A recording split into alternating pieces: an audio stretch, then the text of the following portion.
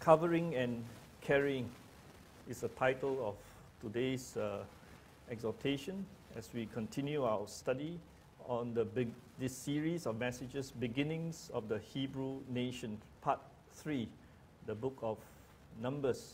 We have covered the book of Exodus, the book of uh, Leviticus, and now we are at the book of Numbers and at chapter 4 from verses 1 to 20. And we are looking at the work of the tabernacle. O.T. Spence, he made the good observation. He says that this is a very important distinction made in this section between the work of the priest in covering the items of the tabernacle when the camp was to dismantle and move, and the work of the Levites in bearing the items of the tabernacle that had already been covered. So here you see that there was a very methodical, uh, there was a very methodical uh, plan uh, that was implemented. God Himself gave the blueprint how Israel as a nation would uh, move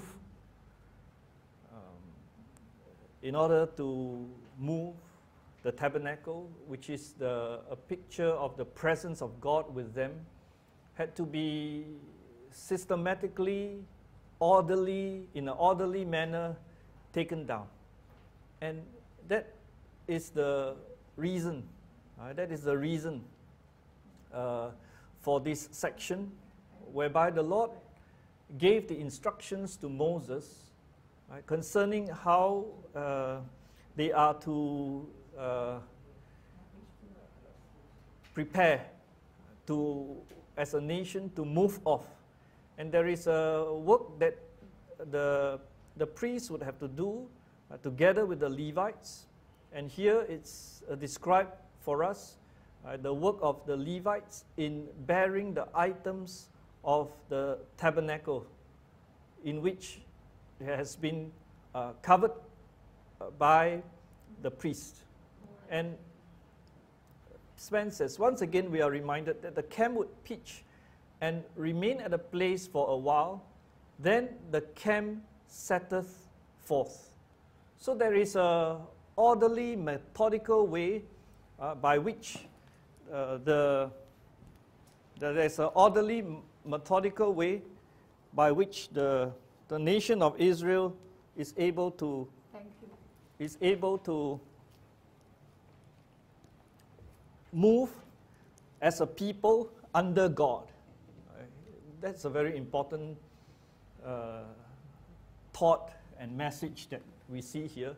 There are people under God, and God provided them uh, the good laws, the instructions, by which the nation can be organized so that they would be a witness to the nations of the world.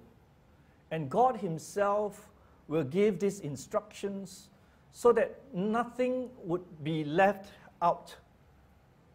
Nothing important concerning uh, the way by which He would lead His people would be left out. You see in great detail uh, the Lord would uh, provide for us this information. Right? Once again, we are reminded that the camp would pitch, and then when it sets off, uh, they, they will move at the sound of the silver trumpets.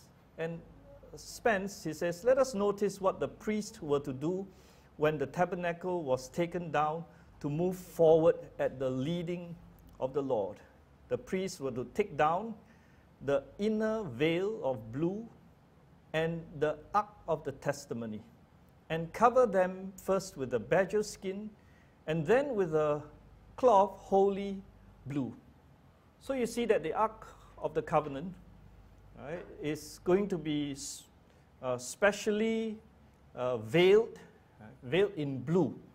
All right, so that when they move, you would see uh, in a very conspicuous manner the Ark of the Covenant that represents the presence of God. Right? What is inside the Ark of the Covenant? We know it is the Aaron's rod that did not bud.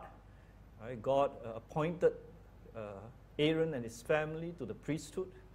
And inside there were the two tablets that God gave to Moses at, the, at, the, at Mount Sinai.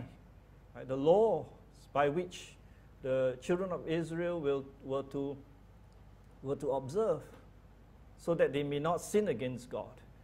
And also, there was a pot of manna uh, symbolizing God's provision for his people. So you see, this was covered in blue when they would set off all the other items you would notice would be covered in badger's skin, right, hidden. But this, the Ark of the Testimony, is uh, covered in with a badger skin first and then with a cloth wholly blue. That's in verse 6, which we saw.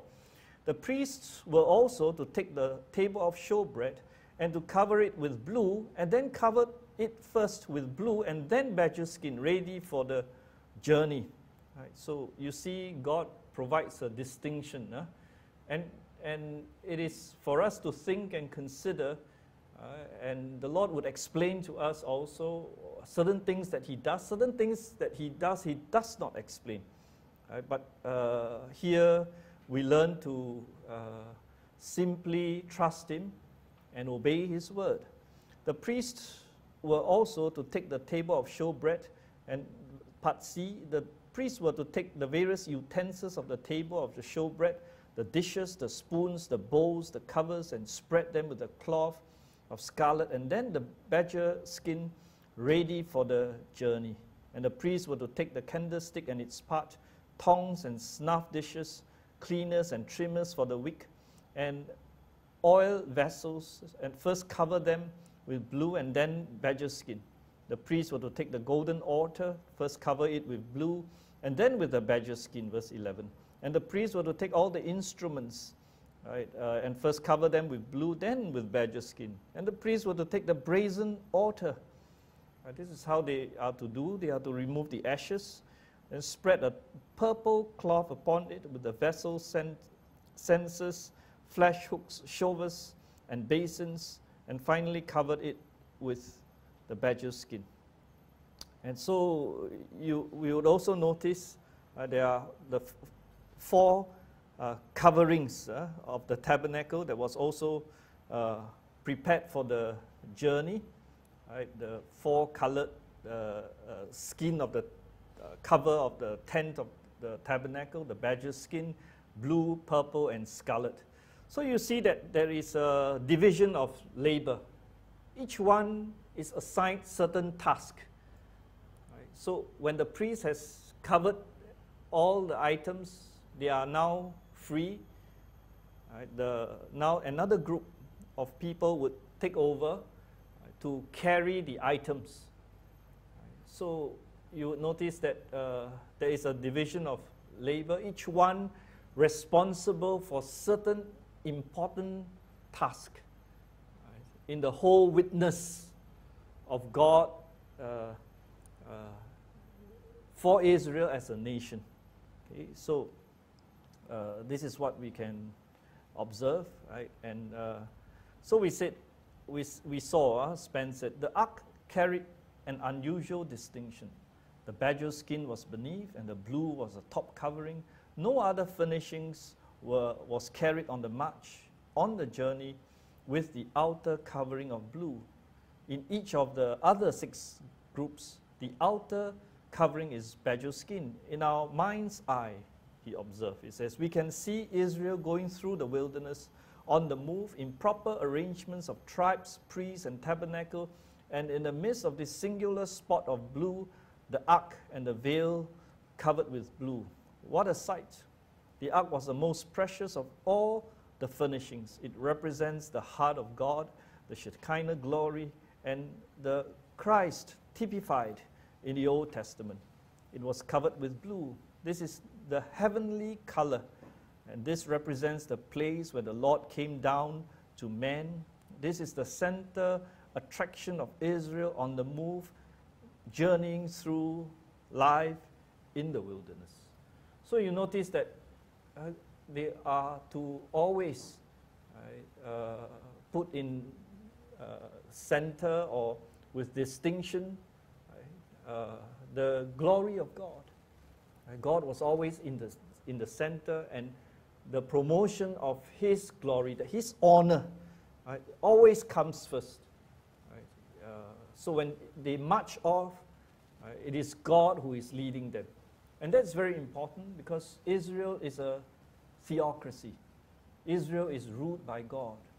God uh, is the one who created the nation of Israel, and God also is the one who will lead the nation in all its endeavor.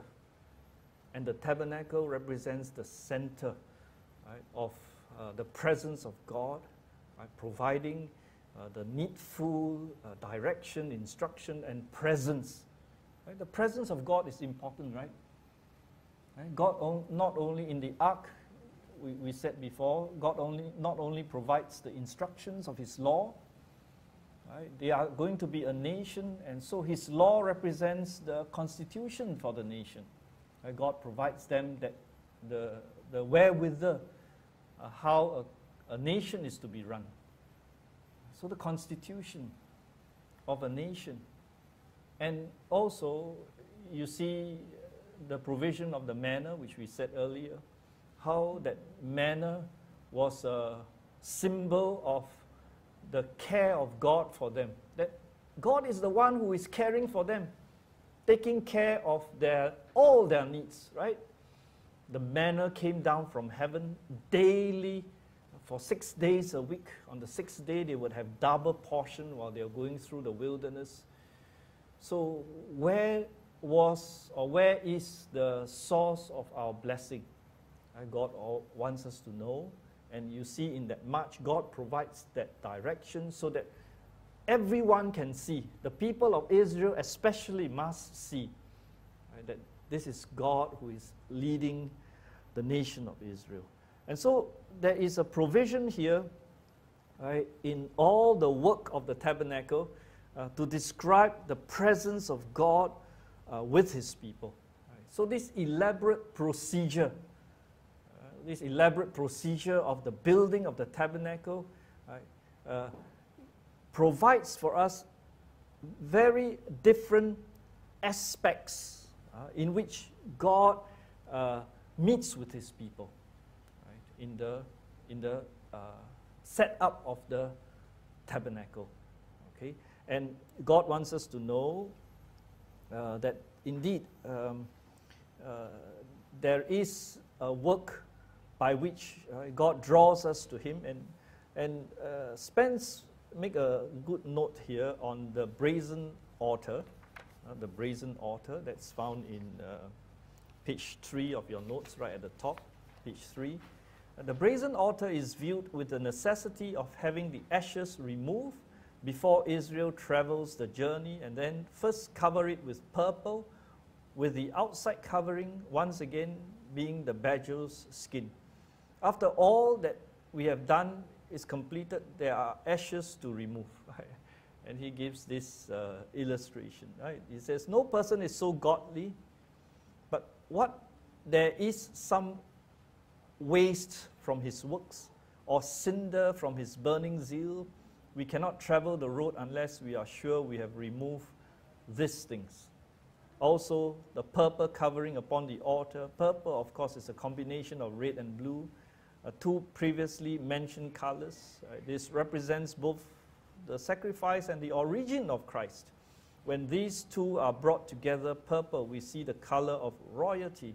Christ was born of royal lineage as the incarnate Son, but he was always the royal ancient of days, being God himself. The brazen altar is the place where the sinner comes and find Christ is that ugly piece of furniture and the sacred monstrosity of the tabernacle. The blood, the ashes, the animal, the smell, the grating, the horns all represent of our Lord in his righteousness for the sinner. So you see, the furnitures of the tabernacle are significant. And we uh, focus here uh, a little bit on the brazen altar. Why? Because it was on the altar that the animals were sacrificed which typifies right, the finished work of Christ that will come right? How many years later? Um, well, Israel in the wilderness is 1500 BC. So Christ coming 1500 years later. So the work of the tabernacle typifies right, uh, the work of Christ uh, upon earth. And the altar is a description right, of how uh, sins were dealt with, our sins were dealt with. Right? How we need to realize that um, sin is a great uh, menace right, in the life of man. And sin has to be dealt with, and God has dealt with it right, with the offering of uh, Himself upon the altar, the offering of for sin is a truly a marvelous way by which men can draw nigh to God.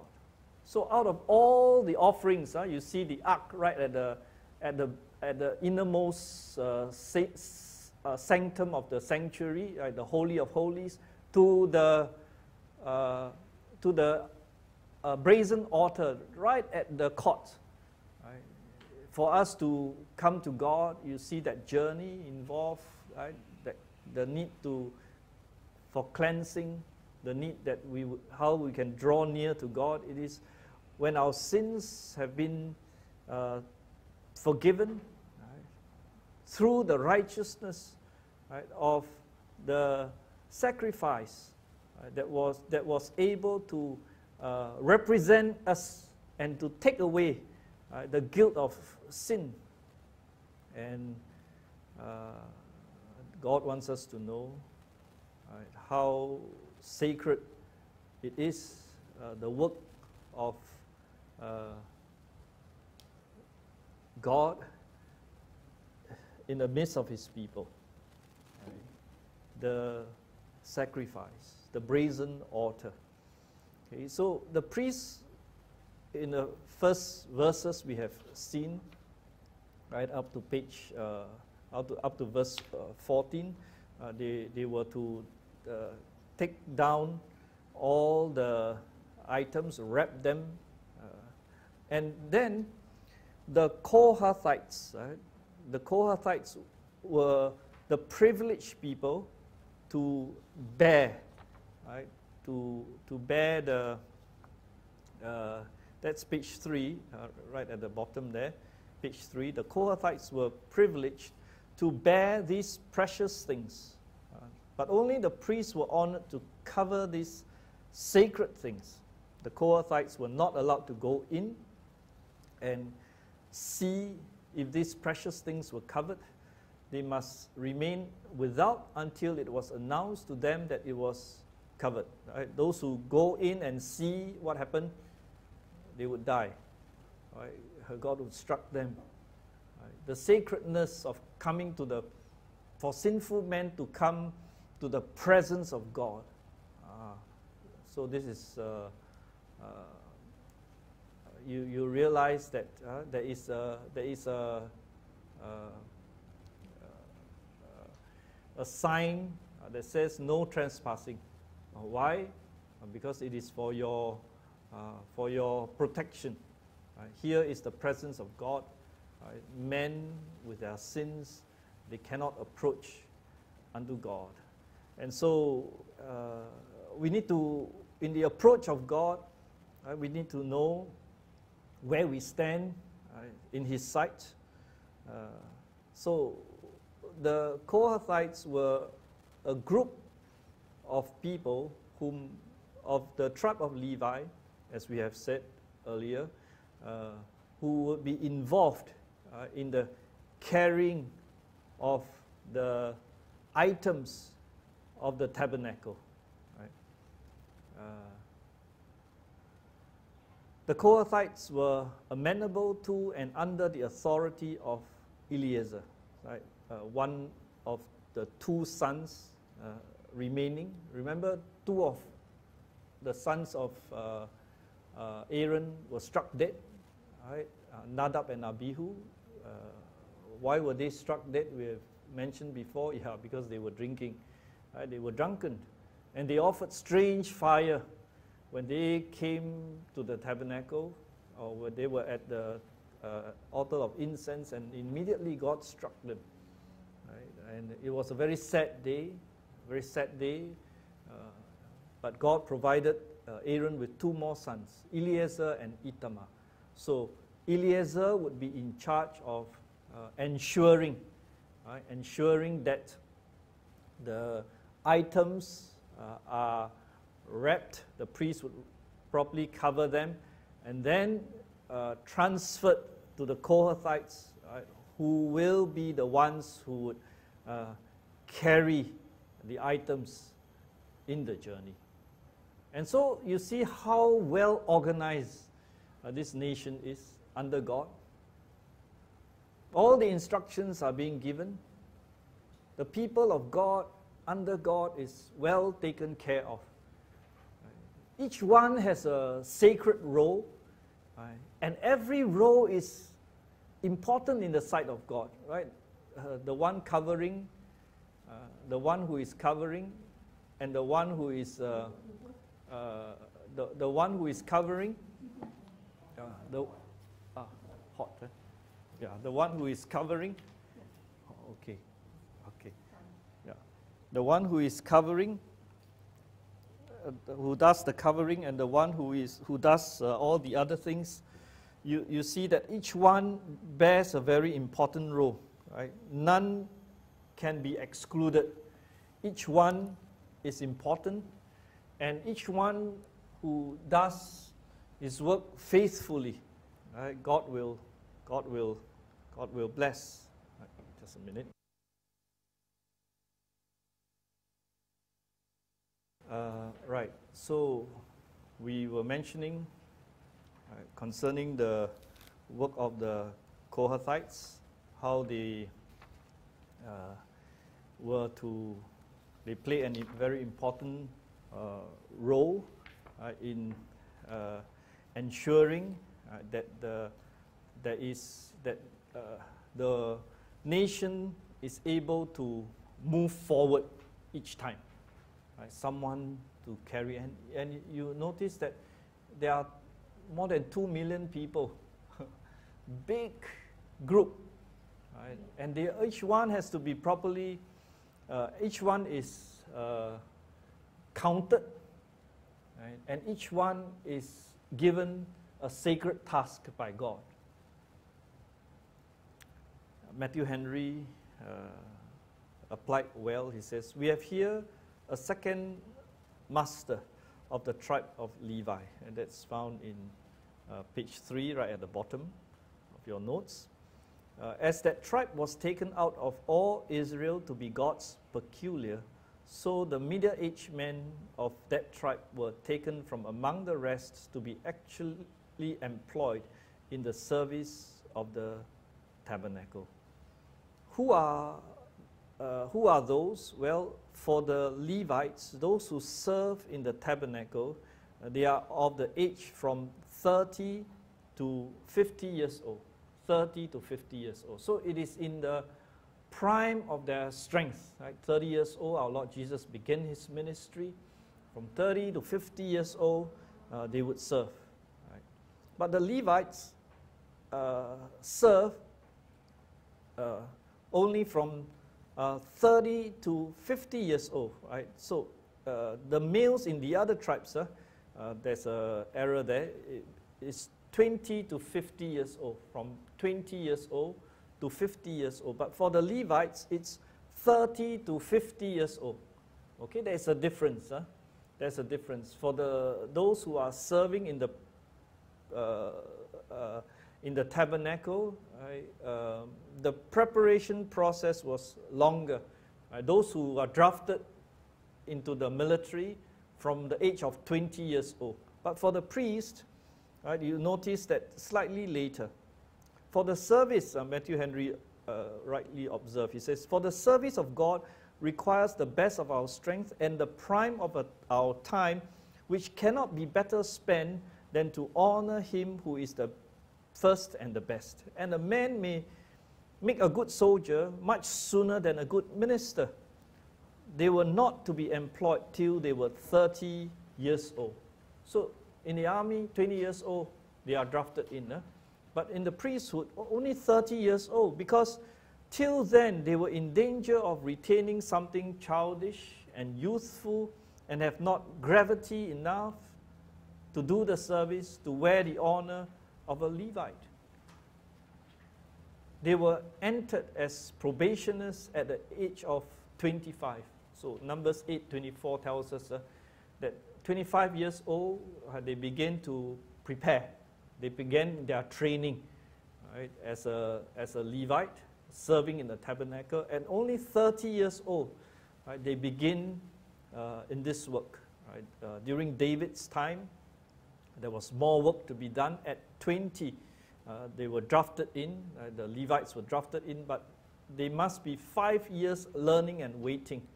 Right? So, to fit themselves for service. So, they were brought in, they were prepared right, before they would do the work.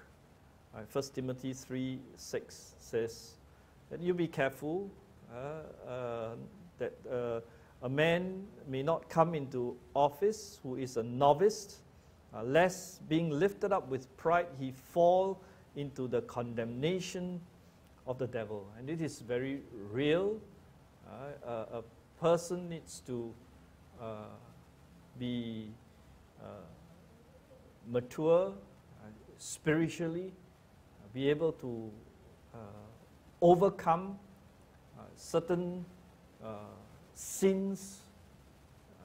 so in their life, they would have already understood how pride can come easily to overtake a man uh, uh, when he is given uh, much, uh, in a sense, uh, much honor and he's not prepared uh, how to handle it.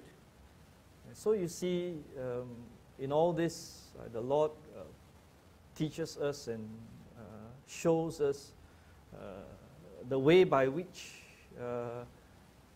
um, he uses uh, men for his honor and glory.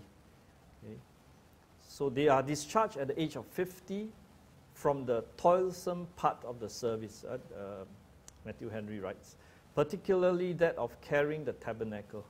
For what is the special service to which they were here ordained and which there was most occasion for a while they were in the wilderness they began to enter upon old age.